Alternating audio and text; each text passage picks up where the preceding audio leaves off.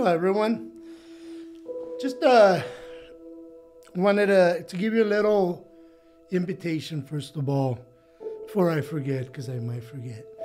But here at Calvary Chapel El Monte, we are inviting everybody to come out and join us for the celebration, right? This week is Passion Week.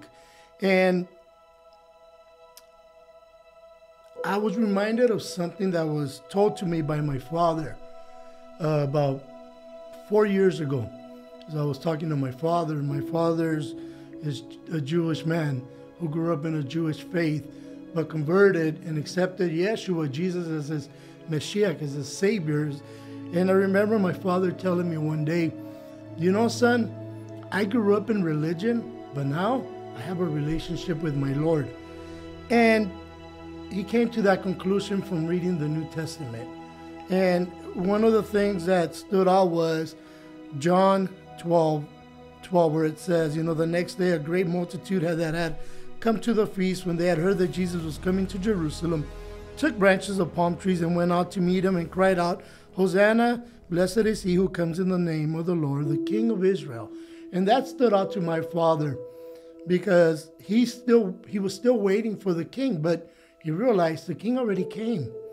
And so he put all his faith on Jesus Christ. And today he, he loves the Lord with all of his heart.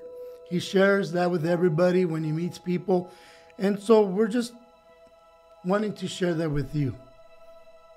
What Jesus has done in our lives, what Jesus means to us as our Savior, the one who died in our place, took upon himself our sin, right?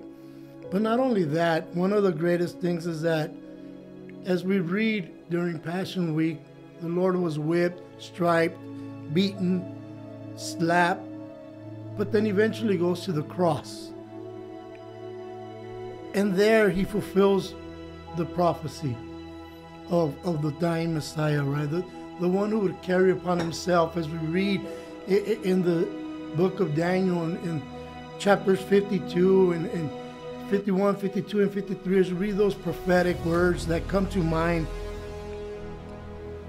how he would carry upon himself our sin. But then Jesus speaks about it himself in that same chapter of John 12 when he said, Now my soul is troubled, but what shall I say? Father, save me from this hour. But for this purpose I came to this hour. Because Jesus knew that eventually he would go to the cross, die on, on a cross. Think about that. For our sins in our place. And when my own father read these words, it, it touched his heart that he said he could no longer deny Yeshua, Jesus is the Messiah. And reading these words are what brought my father to salvation, to that relationship with Jesus. And that's our hope.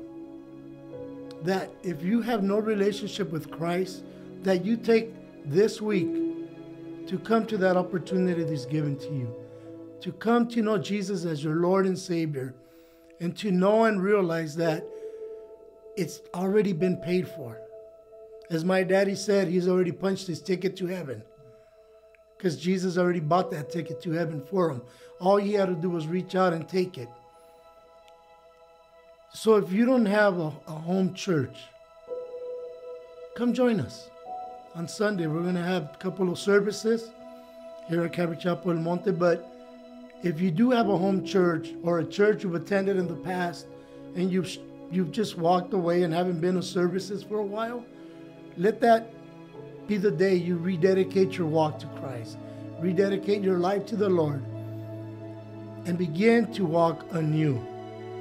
Just begin to walk with your Savior, begin to walk with your Redeemer, the one who loves you so much that he was willing to die on a cross and resurrect on the third day for you, so that you, as my daddy said, would get your ticket punched and be ready for heaven. You'll know your destination. So we invite you to come out to join us at Calvary Chapel in El Monte. If you don't have a home church, but if you do, please, I beg of you, just go. Rejoice in the Lord this week.